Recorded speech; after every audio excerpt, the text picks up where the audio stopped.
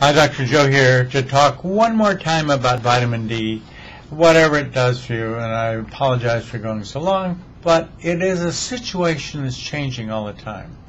It isn't just a product like vitamin D that does things.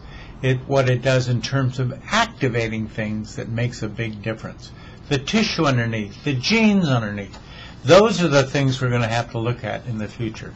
We're not far away, but it, this they're all fun as far as I'm concerned because everything does really well for everything.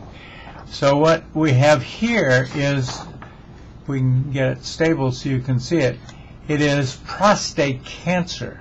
Now they're talking about cancer. We have similar things like breast cancer as well.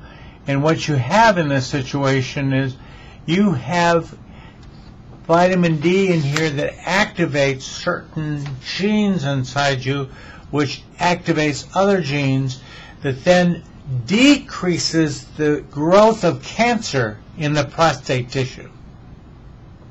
It happens in lots of other tissue. And everybody's working like mad to figure out what it's all about.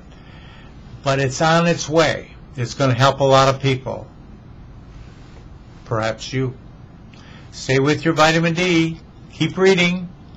Listen to everybody who does down uh, in Southern California that are talking about vitamin D because it really is important. It's going to have a big long-term effect for everybody. More so in California than anywhere.